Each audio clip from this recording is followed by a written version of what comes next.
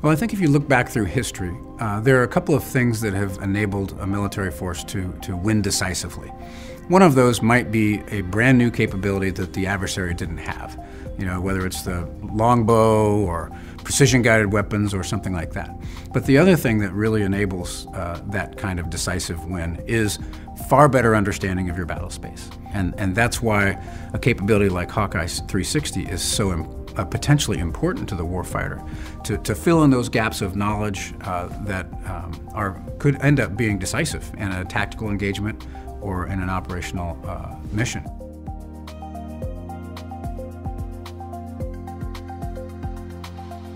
My name is James A. Uh, Sandy Winnefeld. I, I grew up in a Navy family and, and ended up doing 37 years in the U.S. Navy that I would uh, essentially divide into three chunks. The first chunk was serving as a fighter pilot, flying off of aircraft carriers, uh, during which time I was also an instructor at Top Gun.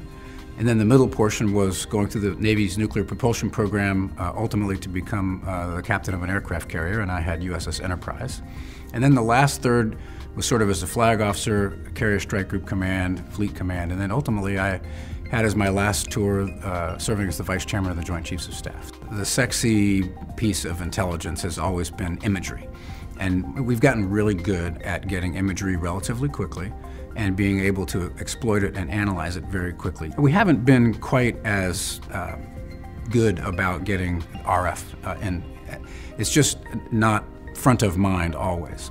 And it needs to be because it really add, is additive both in terms of potentially tipping and cueing uh, imagery assets, but also just adding uh, uh, pieces of the puzzle that you didn't have before. A good example would be when I was a carrier strike group commander in the Arabian Gulf.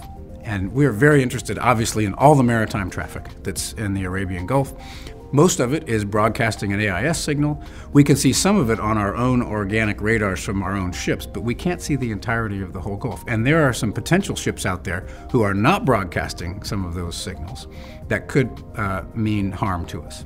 But having real-time, rapid uh, access to uh, non-organic ELINT information, or RF would have uh, really uh, filled in a lot of those blanks for us and made us a lot more confident in what we uh, would uh, have as our understanding of that battle space. Uh, British historian Liddell Hart has a great quote, the only thing more difficult than getting a new idea into the military mind is getting an old idea out.